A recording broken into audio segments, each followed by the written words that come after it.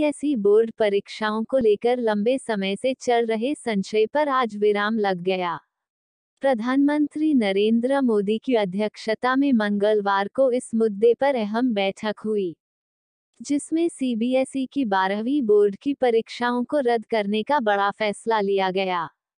PM Modi ने आज राज्यों और अन्य स्टेक होल्डर्स के साथ इस पर व्यापक चर्चा के बाद परीक्षा को रद्द करने का फैसला लिया। बैठक में प्रधानमंत्री नरेंद्र मोदी ने कहा कि बच्चों की सुरक्षा और सेहत सर्वोपरि है। ऐसे माहौल में बच्चों को तनाव देना उचित नहीं है। उन्होंने ये भी कहा कि बच्चों की जान खतरे में नहीं डाल सकते हैं। बैठक में प्रधानमंत्री ने सीबीएसई अफसरों से कहा कि सीबीएसई बारहवीं कक्षा के छात्रों के रिज़ल्ट को वेल डिफाइंड मानदंडों के अनुसार समयबद्ध तरीके से तैयार किया जाए। प्रधानमंत्री ने कहा कि सीबीएसई की बारहवीं की परीक्षा पर फैसला छात्रों के हित में लिया गया है।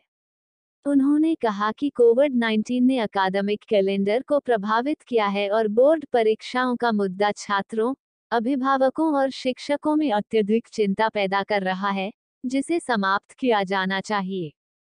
पीएम ने कहा कि देश भर में कोविड की स्थिति अभी बनी हुई है, जबकि देश में संख्या कम हो रही है और कुछ राज्य प्रभावी सूक्ष्म नियंत्रण के माध्यम से स्थिति का प्रबंधन कर रहे हैं। वहीं कुछ राज्यों ने अभी भी लॉकडाउन का विकल्प चुना है। ऐसे माहौल में छात्रों के स्वास्थ्य को लेकर छात्र, अभिभावक और शिक्षक स्वाभाविक रूप से चिंतित हैं। पीएम ने कहा कि ऐसी तनावपूर्ण स्थिति में छात्रों को परीक्षा में बैठने के लिए मजबूर नहीं किया जाना चाहिए। नमस्कार, सध्या की रुग्णसंख्या पाहता पहाता आता दुसऱ्या लाटेमध्ये आणि तिसऱ्या लाटेमध्ये येणाऱ्या आपण पाहत आहोत की मोठ्या प्रमाणामध्ये मुलं सुद्धा यामध्ये जे आहे ते बाधित होत आहेत. आणि अशा परिस्थितीमध्ये आम्ही सातत्याने राज्य सरकारच्या वतीने केंद्राला ज्यावेळी आमची विनंती केली होती त्यावेळी आम्ही अशी मागणी केली होती की सीबीएसईच्या परीक्षा ज्या बारावीच्या आहेत त्या संदर्भामध्ये नॉन एक्झामिनेशन रूट आपण पाहावा. त्यामध्ये काही एक सूत्रता आणता आली पाहिजे सगळ्या राज्यामध्ये ही सुद्धा मागणी आम्ही त्यावेळेला केली होती. आणि त्याप्रमाणे केंद्र सरकारने आज जो आहे ते सीबीएसईच्या संदर्भामध्ये बारावीची परीक्षा रद्द करण्याचा जो निर्णय घेतलेला आहे त्या निर्णयाचं मी मनापासून स्वागत करते. कारण मला माहिती आहे ही परिस्थिती अशी असाधारण अशी परिस्थिती आहे. आणि ह्या परिस्थितीमध्ये विद्यार्थ्यांना दोहरी भूमिका लढावी लागत आहे. दोन दोन ठिकाणी युद्ध लढावं लागत आहे. एका ठिकाणी पॅन्डेमिकशी ते लढत आहेत आणि दुसऱ्या ठिकाणी त्यांना त्यांचा अभ्यास सुद्धा लक्ष द्यावं लागत आहे. आणि त्यामुळे मोठ्या प्रमाणामध्ये ताण आणि तणावाचं वातावरण आहे. बारावीचं वर्ष हे प्रत्येक विद्यार्थ्याच्या जीवनामधलं जे असलं ते महत्त्वाचा टप्पा आहे. मी तर म्हणेन की त्यांच्या भविष्याच्या दृष्टिकोनाची ती एक मोलाची अशी पायरी आहे. परंतु यावेळची परिस्थिती पाहता आपण सर्वांनी अशी विनंती केली होती केंद्राला. राज्य सरकारच्या वतीने आणि राज्याचे मुख्यमंत्री माननीय उद्धव ठाकरेजी यांनी सुद्धा केंद्र सरकारला विनंती केली होती की आपण यावेळी एक सूत्रता आणावी आणि यावेळी विविध पर्यायाचा सुद्धा आपण विचार करावा.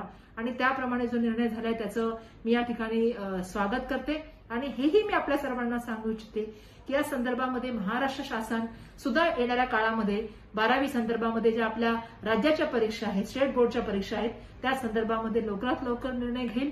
परंतु हा निर्णय घेत असताना मी आपल्याला सुरुवातीपासून एक गोष्ट सांगत आहे, की राज्य सरकारची सगळ्यात महत्वाची जर कुठली प्राथमिकता असेल, तर ते आपलं आरोग्य आणि आपली सुरक्षितता आहे. हे मी या ठिकाणी आपल्याला पुन्हा एकदा सांगू इच्छिते. धन्यवाद.